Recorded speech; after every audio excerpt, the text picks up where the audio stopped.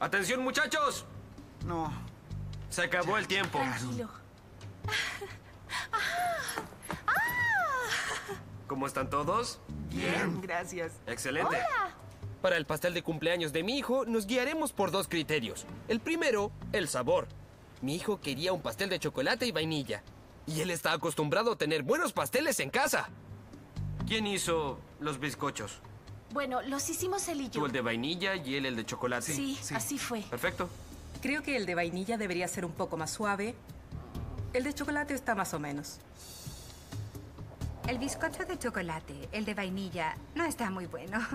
Hijo, ¿qué opinas? Ricos. ¿Los dos? Sí. Bien, eso es lo único que importa.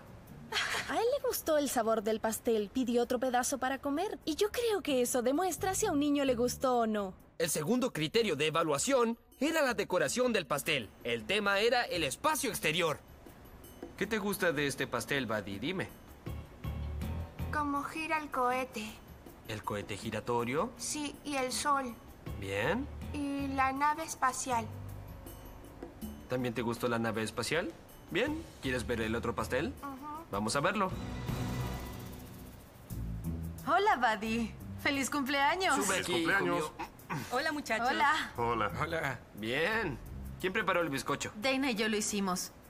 Yo preparé el bizcocho de vainilla y Dana el de chocolate y la crema de mantequilla. Acabo de probar el de chocolate y sabe horrible. Grace me dijo que el bizcocho de chocolate que hice tenía un sabor horrible. Creo que eso se debió a mi olvido. Lamentablemente, no agregué la manteca emulsionada líquida en la mezcla inicial. Creo que ese fue mi error fatal. El bizcocho de chocolate está... Lo siento. Prueba este. Yo lo probé. ¿Qué te pareció? Dime la verdad. Quiero el de vainilla. Prefiero el de vainilla. Sin duda fue un golpe bajo el hecho que al pequeño Buddy no le gustara el bizcocho de chocolate. Yo pensaba, vamos Buddy, prueba el bizcocho de chocolate. Solo prueba el de chocolate. Con cuidado. Mira, mira, mira, mira ese pequeño niño girando arriba. Usando una chaqueta de la pastelería. Dice que Así eres tú. es. ¡Ah, qué tierno y se tiene ve! escrito Buddy Jr.